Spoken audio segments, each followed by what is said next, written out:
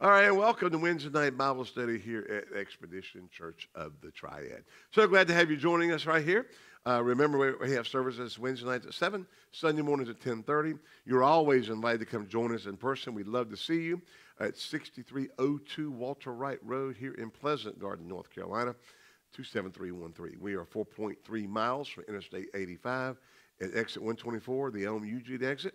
Um, Pleasant Garden is really just kind of like a blip in the Greensboro um, Metroplex. All right, we, we are right next to it, and um, kind of Greensboro kind of circles around it. So um, if they had their way, they would annex the whole little thing. It would be Greensboro, but we're Pleasant Garden. It sounds better than Greensboro anyway. Pleasant Garden. Doesn't that sound lovely? It's a pleasant garden.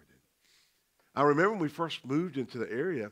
Um, I remember Janie saying about that's such a nice sounding name. This, you know, when we first got here, had no idea that this many years later we'd be here with the church.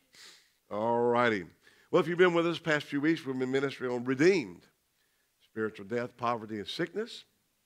Last week we covered poverty, and we have been covering um, before this healing. And so, we, whenever you're doing certain things, certain subjects, they're going to overlap with different sermons. Doesn't matter; it's going to happen. You teach on uh, you teach on healing, you overlap on faith. You teach on healing um, for all, and then you teach on healing being part of the uh, redeemed from the curse. They overlap. It just it's the way it is. It's the nature of it, um, which is fine because repetition is good for you. Amen. Hearing it again and again. We need to be like that Frosty Morn commercial. Some of you are old enough to remember Frosty Morn. How many, how many remember Frosty Morn? You sing it over and over and over again. Frosty morn. And they were cold cuts and hot dogs. Um, you know, used to, buy, used to buy Frosty morn hot dogs. They were the red kind. You know, they had the dye in them. You know? I cried like a baby when my daddy told me at about six or seven years old they weren't going to have red hot dogs anymore because they were taking the dye out. No! you can't do that. So when I find a red one, I go eat it. When you bite into it, it's red. You know, a certain distance, seeing as how far the dye goes. Yeah.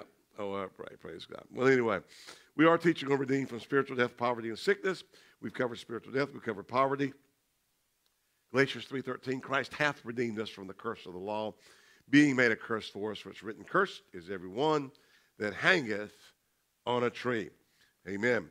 Uh, redeemed, we're just going to re- recap since it's been a little bit since we read the, uh, the foundational stuff, uh, means to a payment of a price to recover from the power of another, to ransom, to buy back. Metaphorically, used of Christ freeing the elect from the dominion of the Mosaic law at the price of his vicarious, vicarious death. Amen. Aren't you glad uh, that we have been redeemed? Amen. Glory to God. We've been purchased back. We've been bought with a price. Not as silver and gold.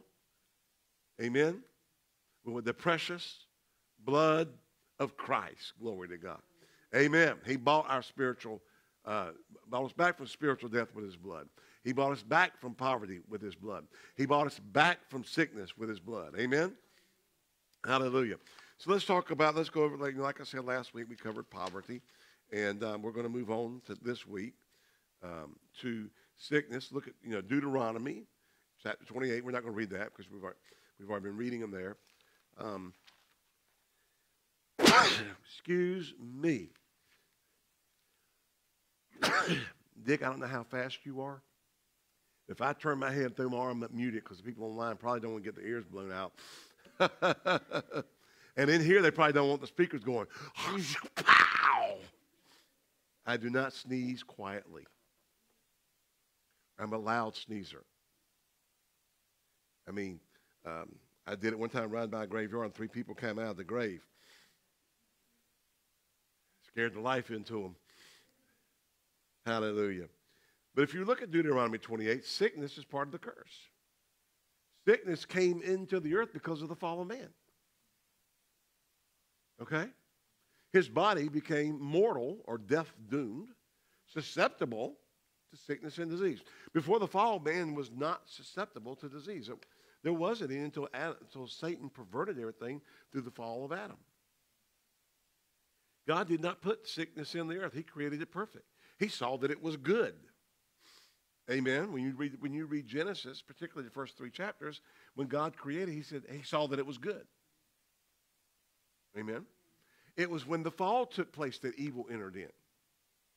All right. Um, but here we have. Now remember, Jesus bore our sin on the cross. Remember, um, uh, we quoted it, um, right? Who's on? Well, let me read it again. I don't want to misquote the verse number. Okay. 1 Peter 2.24. Whose own self bare our sin in his own body on the tree, that we being dead to sin should live unto righteousness, by whose stripes ye were healed. Okay? Quoting Isaiah 53, by whose stripes you are healed. Isaiah was prophecy. Okay? It was, it was foretelling of a coming event. Isaiah 53, 5 who by whose stripes you are healed. Um, 1 Peter 2.24 declares the fulfillment of that prophecy. Jesus has bore our sicknesses. Matthew 16, uh, Matthew um, 9, uh, 8, 16, 17 make, make it clear that it's talking about physical diseases and not the spiritual disease of sin. If We get real theological. No, that was, that was when you got born again. That was taken care of. Amen. God made provision for our physical bodies. Hallelujah. So Jesus bore our sin. Look at Isaiah 53. We'll read verses 1 through 5. Isaiah 53. Sometimes we've, we've covered these, this material so many times over the years that there's a temptation just to kind of fly by it as if everybody knows it by heart. Amen. You know, how many learned your, uh, how many learned Pythagoras' theorem when you were in school? A squared plus B squared equals C squared. It's the measurement of a triangle. If you have two sides of the triangle, you can figure out the third side. Amen. That's all it takes. Because you know that A squared plus B squared equals C squared. So by having two of those numbers, you can figure out the whole thing. Right? All right? You can figure out the distance. Isn't that wonderful? Amen? How many use that every day? I remember one day I was, I was doing something um, at the school. I was trying to figure out how long a cable would be going, you know, how long it would take to come across here. So I measured down there and I measured over there. I had those two measurements. I knew what this measurement was going to be by figuring that out. Amen. And then taking the square root of, of the, of the um, final answer. Then I knew exactly, oh, it's going to be, I forgot, it's going to be like 16 feet. Well, if I go down the wall, it's going to be 12 plus another um, 15, it's going to be 27 feet.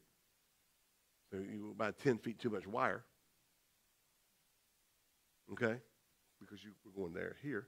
But by doing Pythagoras theorem, and I was able to take that and work it out, figure out exactly what it was across that, across there. They had all these distances. Amen.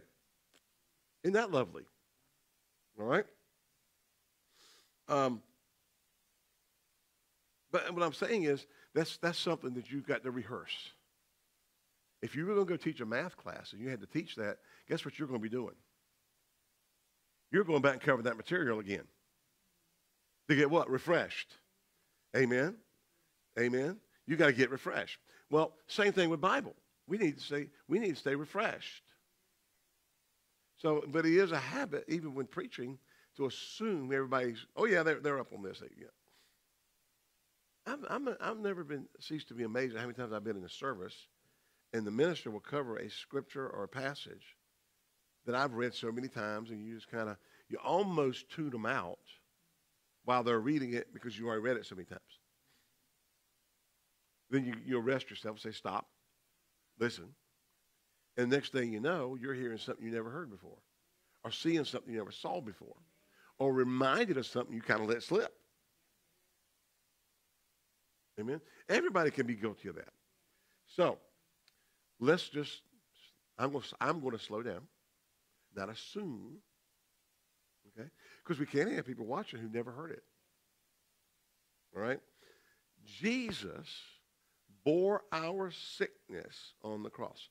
Isaiah chapter 53, we'll start in verse 1. And uh, who hath believed our report? And to whom is the arm of the Lord revealed? For he shall grow up before him as a tender plant and as a root out of the dry ground. This is talking about Jesus. This is prophecy about Jesus. He hath no form nor comeliness, and when we shall see him, there is no beauty that we should desire him.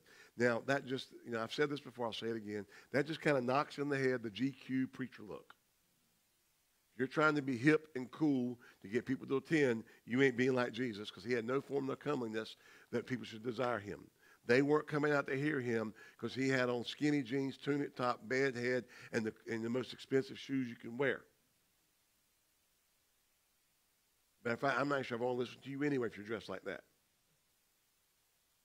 That's just my, me. I'm not into that, uh, that kind of cool. Not even, uh, it's not even cool to me, but anyway. Okay? He is despised and rejected of men, a man of sorrows. Okay? So he is a man of sorrows, right? Okay? 53. All right. Um, He's a man of sorrows and acquainted with grief. All right? And I'm trying to find something here that in my margin. He's acquainted with pains. Amen. All right? Glory to God. He's acquainted with pains and um, man of sickness, really. And I mean, pains and then of acquainted with God. I'm sorry. I'm trying to remember. I'm trying to see my old Bible because I got a new Bible and I didn't have it written over here. Makab and Koile. Which Hebrew word, which is which, which one? Because used to have my notes, I could just look at. I would say that's that one, and I haven't put it in here yet. And um, I'm sorry. And my phone's not with me where I can look it up on my app and look up the Strong's number and get the word because I don't bring it to the pulpit. So um, we have two Greek Hebrew Hebrew Hebrew words here. Makob, M-A-K-O-B, and Coily, C-H-O-L-I. Coily, okay? Um, the King James translates them kind of backwards from what they really are. They do mean that they do mean these things, but they're not the primary meaning. Okay. Um, the word sorrows actually means sickness. Grief means pains. Okay. So he's a man of sickness, acquainted with our pains, and we hid as it were our faces from him, and we just esteemed him not. Hallelujah. Um, Joe, will you just run to my office and get my phone? I'm, I'm going to get this right. I know this is kind of, you know, on the fly right here in front of everybody, but I'm going to get that right. And um, I will have it in my Bible before I, I teach out of this chapter again. You know, don't you have you got notes somewhere and you know you can see it. I can see my lines up there and I can see the right word. it's, it's just not in this one. Hallelujah. So we're going to go fill up the um, eSword app. Glory to God. Hallelujah. And uh, we're going to look at eSword. And we're going to look at the King James Plus, which has the Strong's numbers. Then we're going to go to Isaiah. Hallelujah. Um, we're going to go to Isaiah 53. verse 3. Okay? All right. Okay? And then there we go. There we go. Choliy is C H O L I Y. Okay? Makab, M A um, M A K O B. M A K O B. Okay. Makab. Makab, which is translated sorrows here, is grief or affliction, pain, pain. Grief is koile, which is sickness. Okay, the word they translated grief is sickness. All right. Glory to God. So I got that straight. Amen. Amen. Got it straight. So grief is sickness in Hebrew. It does also mean, but it's not the primary meaning. Okay? Um, so he made him, he's a man of pains, acquainted with sickness. Um, we hid as it were our faces from him. We, we, he was despised, we esteemed him not. Surely he hath borne our griefs, sicknesses, and carried our sorrows, pains, and yet we did esteem him stricken, smitten of God, and afflicted. He was wounded for our transgressions, he was bruised for our iniquities. The chastisement of our peace was upon him, and with his stripes we are healed. Okay. Um, so we have a prophecy here that's pointing. You can look at the cross, stripes. He was whipped and beaten with the whip so bad. It's you know it wasn't just it wasn't just a normal cow whip from the west. It was a it was a Roman scourging whip, which was, I mean, if you ever saw the Passion of Christ with um, Jim Caviezel, um, that is a very realistic depiction of what actually happened. Okay, I think we said this other week that when they they filmed that, uh, they had like leather on his back about this thick, you know. But some of the some of the shards wrapped around under his underside and cut him up under here. Yeah, doing the scene. Had no idea they needed to wrap it all the way around to do the scene, and um, so he got cut doing that scene. And um, but that was very realistic. Three Roman scourges. Um, it wasn't long, it was a short. They were short, wide, and they had bone or nails or rock or pottery in the end. So when they pulled it back, it just tore flesh. A Roman scourging was 39 stripes, I mean 40 stripes, save one, but done by three people. It wasn't just more like 120. You know, we're taking turns, whack, whack, whack, going at it. Okay? Jesus paid a price for your healing. With his stripes you were healed. 1 Peter 2, 24, whose own self bare our sins in his own body on the tree, that we being dead to sin shall live unto righteousness, by whose stripes ye were healed. Okay? And so Isaiah prophesies it. Peter declares it a, a, an accomplished fact. Matthew 8, 16, when evening was come, they brought unto him many that were possessed with devils, and he cast out the spirits with his word, and healed all that were sick that it might be fulfilled which was spoken by Isaiah the prophet, saying, He took our infirmities and bare our sicknesses. Now, notice that He bore our sicknesses. Now, he, Isaiah 53 5 and King James says, bore our griefs. When they, when they translated um, Matthew 8, it says He bore our sicknesses, because that's what the word really conveys. It is not talking about spiritual, the spiritual sickness of sin talking about physical ailments. He healed them that were sick. Amen. So we have here this this is our this is our premise. Jesus bore our sicknesses. At the same time, he bore our sin. Amen. He bore our sicknesses. At the same time, he bore our sin. He carried them to the cross. Aren't you glad? So, um, like we said earlier when we were teaching along these lines um, um, in another series, um, you know, we could preach God's uh, sick, uh, forgiveness and healing, God's double cure. He wants to forgive you spiritually. He wants to heal you physically. Okay? All right. We also said that Jesus demonstrated the will of God in his ministry. now, very interesting. Jesus said, and I'm not sure this is in my notes here. Nope, nope, nope, nope, nope, nope, nope. Okay. Jesus said, The works that I do shall you do also and greater than these because I go into the Father. Okay? So the works that he did. We have here, Jesus saying in John 6 38, I came down from heaven not to do mine own will, but the will of him that sent me.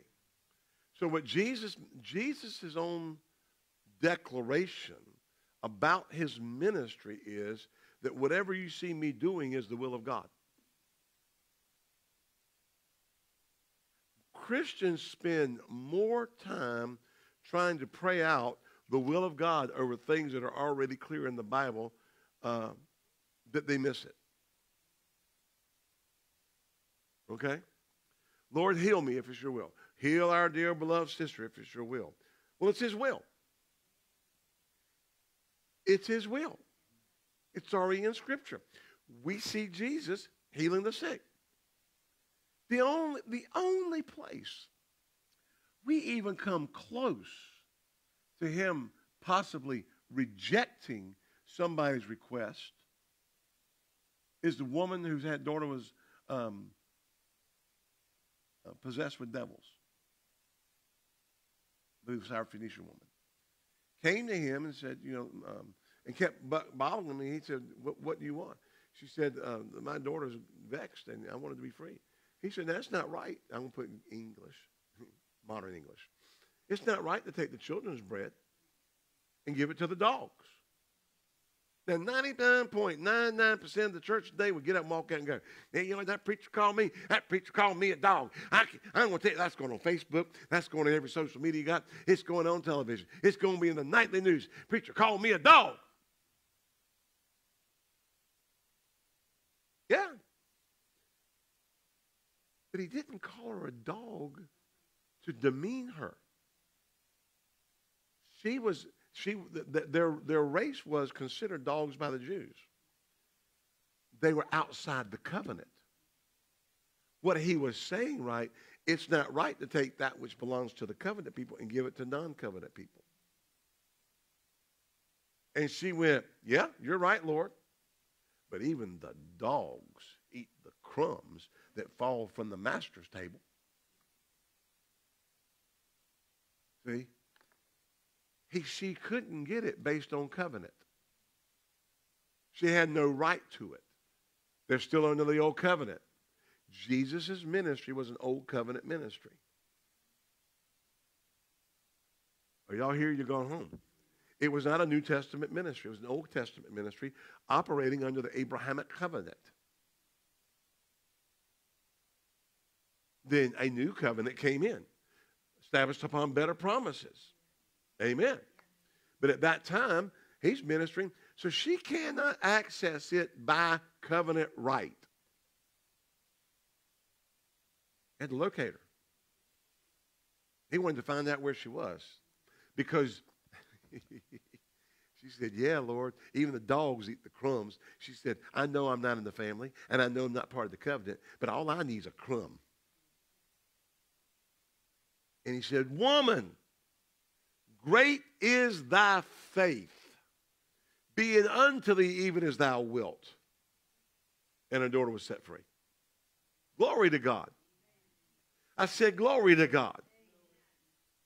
How did she get it? By faith. Faith just overrode the whole thing. I said, faith overrode the whole thing. Glory to God. She accessed what she didn't have right to by faith because she saw him in operation. She knew who he was. And she came and said, I'm coming to get my stuff. You call me a dog? Fine. I'll be a dog. Just give me a crumb. I got it. That preacher told me that I didn't have any faith. That preacher said, you know, I'm not studying the word enough. That preacher said, and miss the whole thing. Miss your healing, miss your blessings because you got offended. Well, that ought, that ought to tell you right there you're not studying the Word. I'm going to step in it. Great peace have they that love thy law, and nothing shall offend them. Hello? You're manipulating. No, I'm just telling you what the Bible says. If that woman had gotten offended, her daughter would not have been free.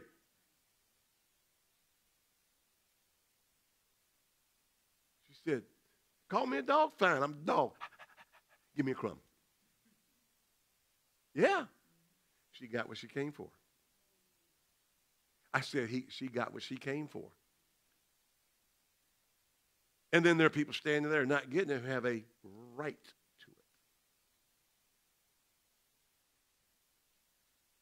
They want it served up on a platter. Porterhouse, medium. Hello? With the right dry rub on it before they cooked it.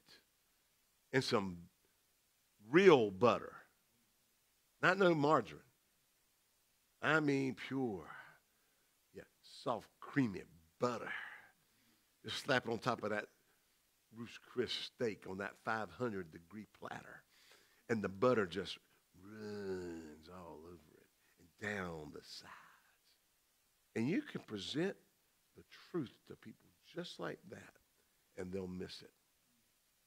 And you'll have somebody come by and drop down and grab a crumb that fell on the floor and get their answer. Hallelujah. Just takes that little bit of faith to really believe, just to act on it. If you have faith, the grain of a mustard seed, you shall ask what you will, and it shall be done. You shall speak under the sycamore tree and say, Be cast yonder into the sea, and it shall obey you. Amen. I said, Amen. amen. Oh, my. Hallelujah. So Jesus came to show the will of God. So his ministry is a representation of the will of the Father. That's why I challenge people go study his ministry. Before you pray, if it be thy will, over being healed or being saved or certain things in the Bible, the only time Jesus prayed that prayer was in the Garden of Gethsemane. That was not his general prayer. He didn't go to Lazarus' tomb and go, Father, if it be thy will, raise him up. No, when he got to the tomb, what did he say? Father, I thank thee that thou always hearest me. Because he knew what he was going to do. Amen. Thank you, you hear me. Lazarus, come forth. Lazarus, oh, Lazarus, come forth. Little Carmen there. yeah. Listen, Lazarus didn't come walking out. He had to come hopping out. How do you know? Because the Bible, he said, go loose him and let him go. He was still wrapped in his grave clothes, and they had already cocooned. He had to obey. Somebody said, why did he say Lazarus? Because if he hadn't, everybody would have got up. he just said, come forth, everybody would got up and came out. Hello. Talk about walk, Night of the Walking Dead. We did have that when Jesus was resurrected. Many of the old saints came out of their graves and went in the city and seen of many. I believe Matthew, whatever, verse 54 says, down in one of the latter chapters. The, the people came out of the graves. They stopped by and grabbed their body on the way up for a minute, go tell everybody that Jesus is the Messiah, and then dropped it back off and went to heaven. Glory to God. But Jesus ministered, you know, did as well. Jesus uh, in John 14, 5 through 11, look over there. You could have been Isaiah. You could have been, you could have been all over the place. I'm getting into the all over the place role here. John 14, verse 9. We better back up.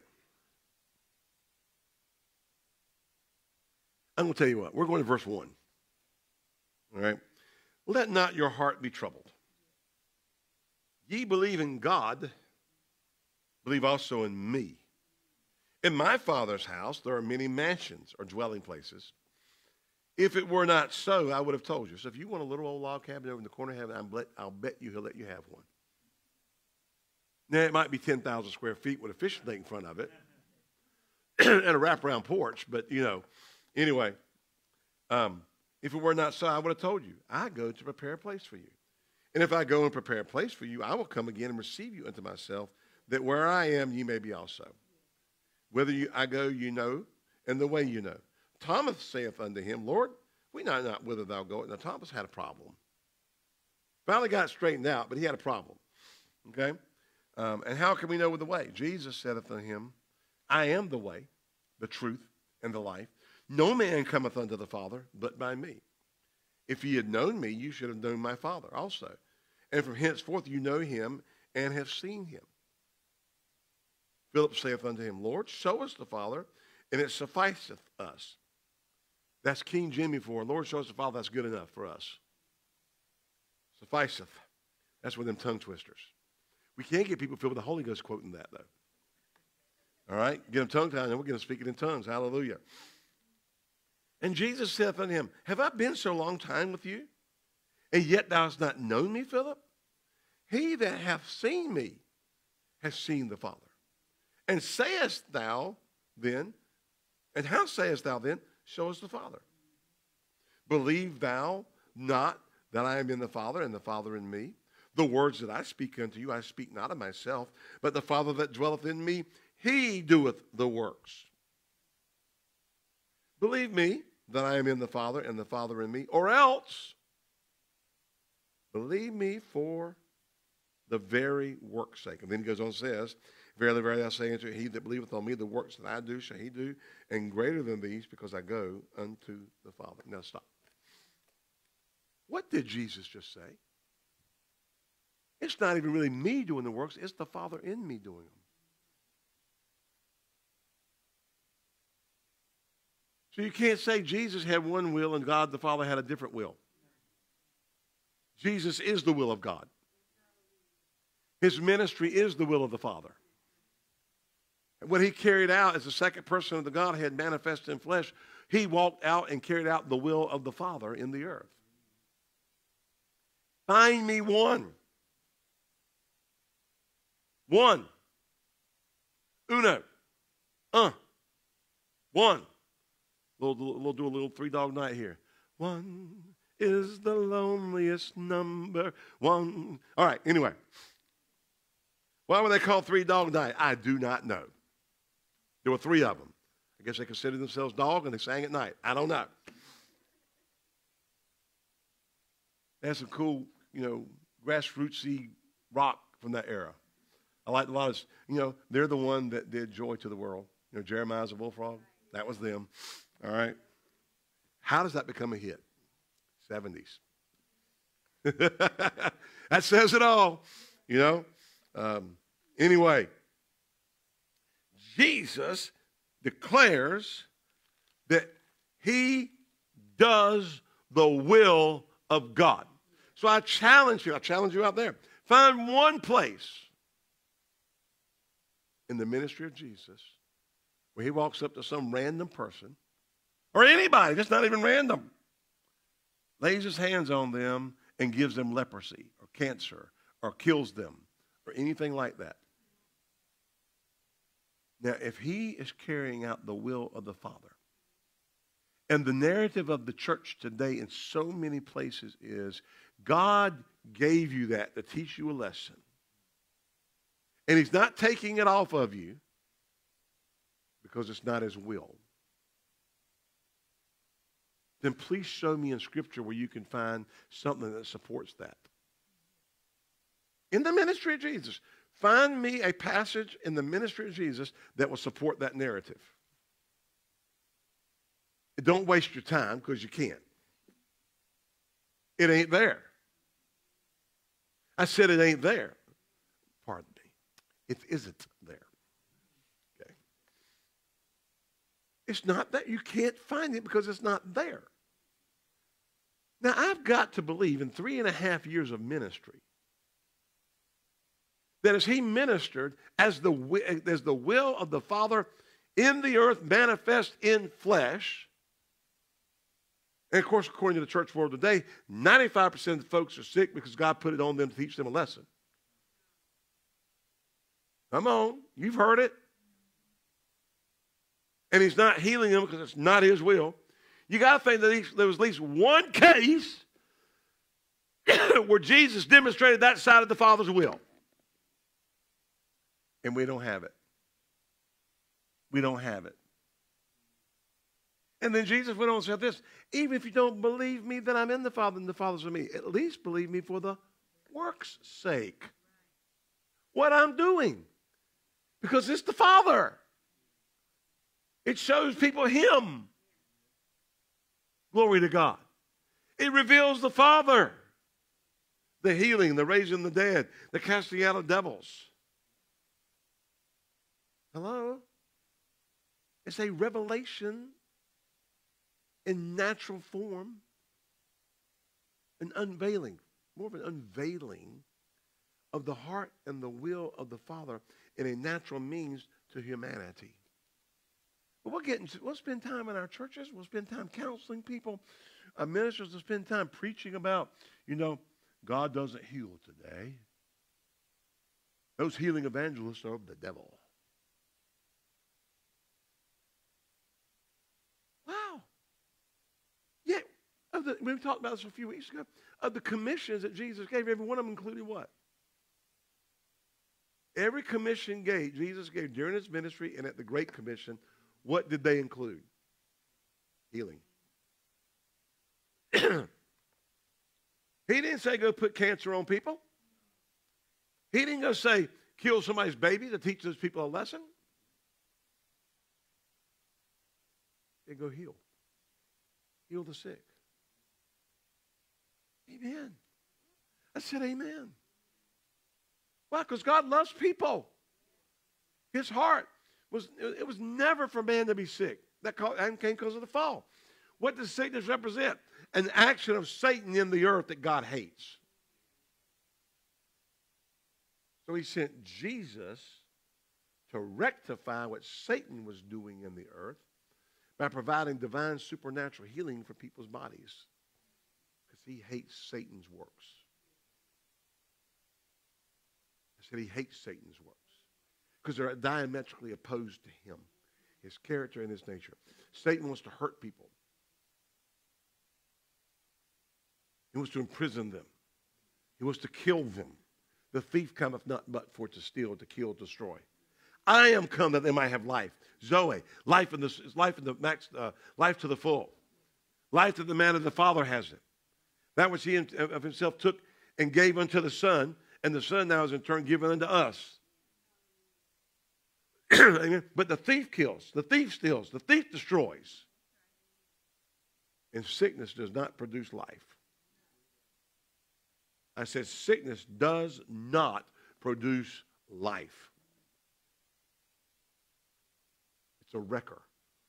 It destroys people's bodies. It destroys people's families. It runs people away from God. I don't see where sickness draws people to God. Even people who say, well, I'm just trying to figure out what the Lord's doing. Because, because, they, because they, they love God. And they can't understand why a loving father would do that to them or to a very close loved one. But they're just taking it on blind faith because they've been trained that way. And I'm glad they're staying with God. But I can tell you, over time, bitterness and resentment will, be, will build up in their hearts. Why? I don't understand why. Why would you do that? Well, baby, if it's killing, stealing, or destroying, it wasn't God. God wasn't in that. God didn't send leukemia. God didn't send um, AIDS. You know, you had a whole bunch of people teaching, God gave people AIDS for their you know, perverse lifestyle. No, your perverse lifestyle gave you AIDS. Hello? I mean, really? Uh, I think I think one of the one of the narratives is that the study you know they've done that it came from having relations with monkeys in Africa.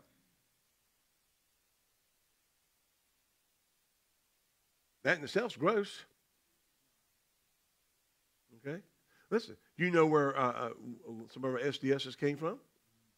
The Spaniards going into South America, having relations with llamas. Got a disease called syphilis. Yeah. Or a yama. Is it a yama? Is llama pronounced yama? Is because it's double L. You don't, you don't know? Okay. Okay. What, yama? Yama, yama. Okay. okay. Double L gives it kind of the Y-ish sound. All right. Think about that. God didn't give them syphilis. He gave it to themselves. Because they were driven by inordinate passions. Hello? Y'all hear you go home? God didn't do that to people. Thank you for your enthusiasm. You're getting kind of gross. I'm not sure. Listen, it's time we stop blaming God for stuff God didn't do. Amen. Are you here? You go home. AIDS was not, a, was not in the general population until the government covered it up and made it so you couldn't tell people were infected with this disease. And then it spread through blood transfusion because you couldn't tell anybody. Nobody had the right to know that you had AIDS. And it spread over into the general population. That was evil. I said it was evil. Okay? God did not send diseases. He didn't put that on people. So that's what I got off on all that because people say, God, AIDS was a judgment of God on this. Well, now you got people getting it through blood transfusions. That the judgment of God on a normal family that had a blood transfusion and, you know, got tainted blood? It's evil. Okay? Acts 10.38 says, how God anointed Jesus of Nazareth with the Holy Ghost and with power, who went about doing good and healing all who were oppressed of the devil, for God was with him. The Father in me, he doeth the works. He went around healing the sick. Amen. He healed. And who were they oppressed by? They were oppressed by who? The devil. The devil. The devil. Amen. The devil was, is oppressing people. Directly or indirectly, sickness comes from the enemy. And then he uses man to make stuff. We didn't have COVID 19. They took a bunch of viruses and put them together and created a super virus. What for? So they could create the vaccine and make billions of dollars. And it did not come because bats were eaten out of some market in Wuhan or whatever it was. The virus was released. Or you're just being conspiracy theorists. No. I don't know if you know this or not. They had the virus right here at the University of North Carolina in a lab there for a period of time before it broke out. Right here in America. Why do you create a super virus that would not naturally mutate unless you're planning on selling the vaccine? That they could they did all kinds of stuff to create that. Under the guise they were doing preventative to stop a virus from mutating it wouldn't have mutated that way. It took people deliberately engineering it. Hello? Why? Because you got rich, rich people who will get rich, rich, rich, rich off it and wipe out people at the same time. But Jesus heals COVID 19 and every variant of it that they made. Hallelujah. He's greater than COVID 19. Hello? And these things mutate. And once, once they're created, once they're out there, they will mutate. Viruses do that. That's all right. Jesus has got a mutated answer. Amen. He heals every disease named now in the book, this book of law, and those that aren't named. He gets them all.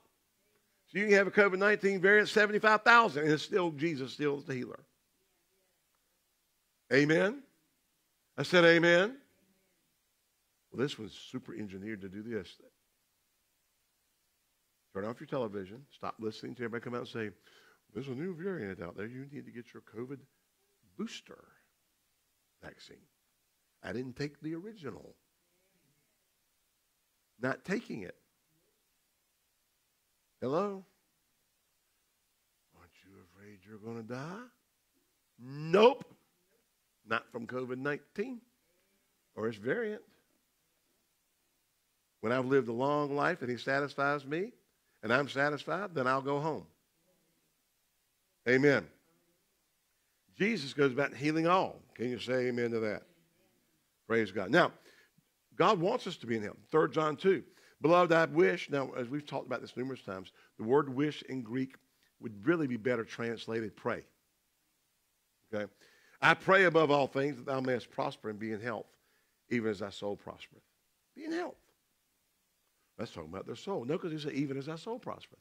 In relation to prosperity and health, in relation to the prosperity of your soul. You mean? If feeding on studying the Word. You're full of God's will. You understand God's purpose. Psalm 103. Bless the Lord, all my soul, and all that's within me. Bless his holy name. Forget not all his benefits. Who forgiveth all thine iniquities. Who healeth all thy diseases. Go to Luke chapter 13, and we're going to quit there. Let's see. We need to quit there. We're running out of time. You know, we call this the hour of power. I added ISH on the end of it. The hourish of power. Kind of somewhere around that hour thing, you know? Kind of gives me some leeway. I'm fudging stuff, just like the officials do for the Dallas Cowboys, particularly when they're playing in Dallas. Jerry got to talk to him before the game.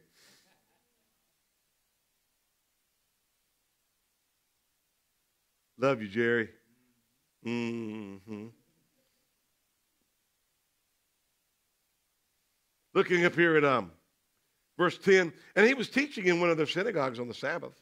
And behold, there was a woman which had a spirit of infirmity, spirit of infirmity 18 years and was bowed together and could no wise lift herself up. Now, she um, had some back, crippling back problems, so she's bowed over, can't stand up straight.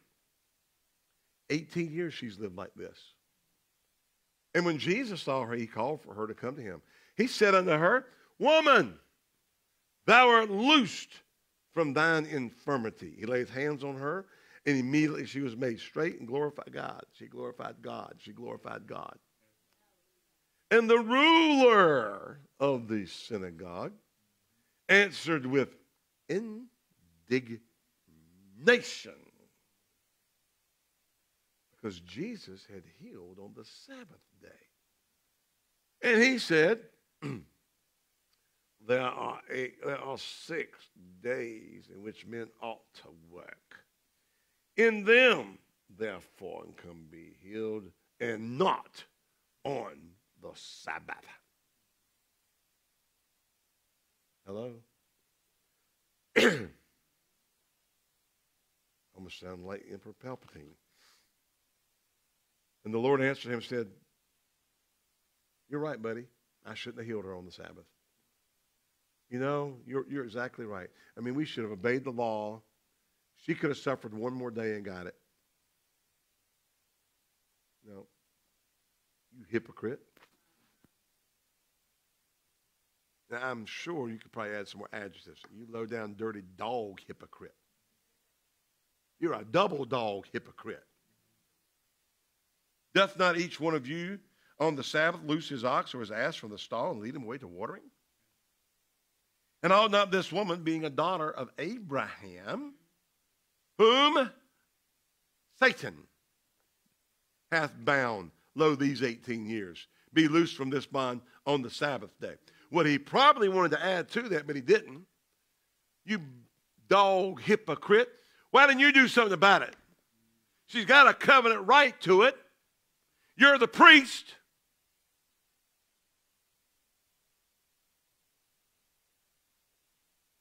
Hmm? But to hide their failure, he gets mad that they violated the Sabbath. Ooh. Amen. Who had her bound? Well, modern theology says Jesus did, and God does. A little too modern for me. When the head of the church, the Lord Jesus Christ himself says Satan had bound her, she was bound by Satan. And she should be loosed on the Sabbath day. Why? Why? Why? She's in covenant. She's a child of Abraham. She had a right to be healed. They're ticked off that they don't know how to do the work of God. They know how to collect money and live off the temple. They weren't interested in helping people. They were making their living. They didn't care about the people. They had them under their, they had them under their power. They had them under their authority. They had to do what they said. They were the priest.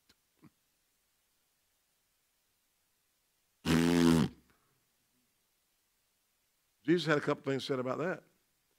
My house should be called a house of prayer. You made it a den of thieves, ripping the people off.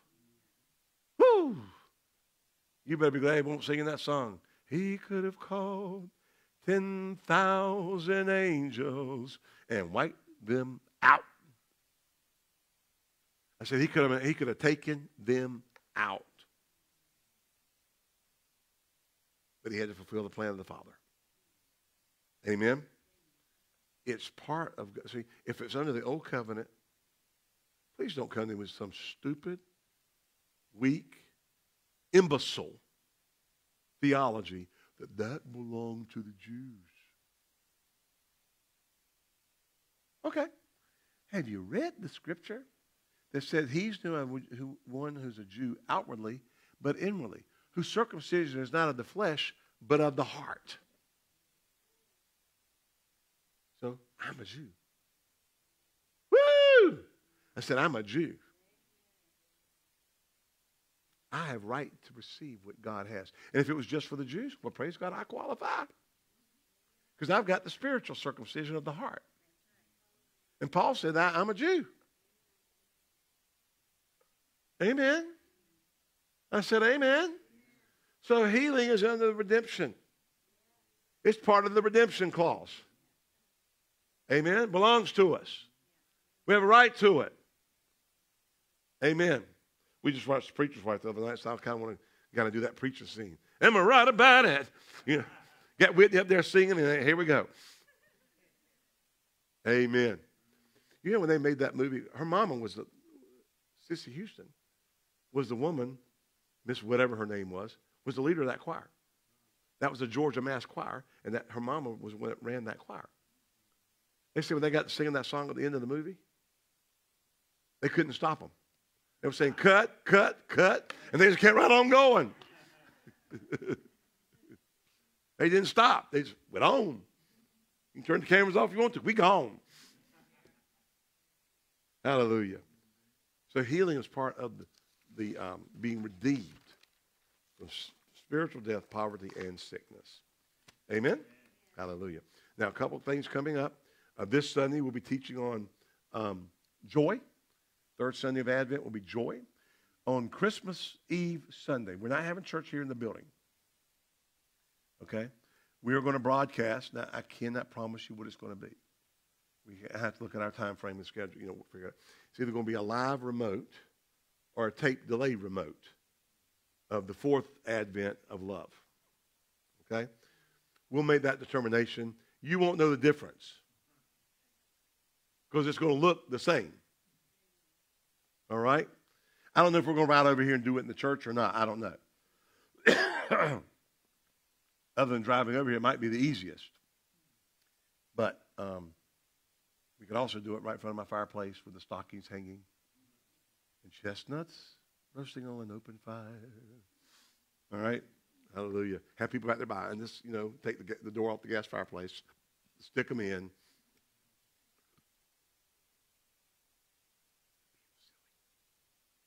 All right. Praise God.